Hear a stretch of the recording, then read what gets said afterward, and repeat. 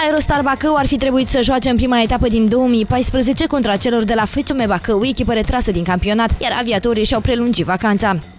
Tot lotul este anunțat pe data de 27 la ora 15, pentru că noi prima etapă stăm cu FCM Bacău și avem uh, la dispoziție o lună jumătate aproape două de pregătire.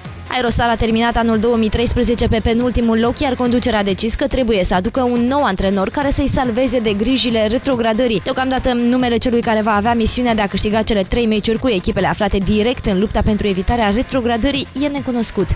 Rămâne ca conducerea clubului să numească antrenorul, pentru că din cauza legislatelor care au fost în tur și poziția din clasament, uh, ne punem o situație la play-out ca să putem să Trebuie să câștigăm meciurile cele, cele mai importante care sunt uh, cu puncte directe la play-out și în momentul când anunță conducerea clubului nou staff al clubului, atunci suntem la toți antrenori la dispoziția clubului.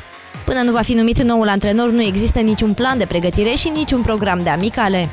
La momentul de față nu aveți un antrenor principal. Nu, nu, momentan nu, nu are nimic. Nu, bă, în căutare.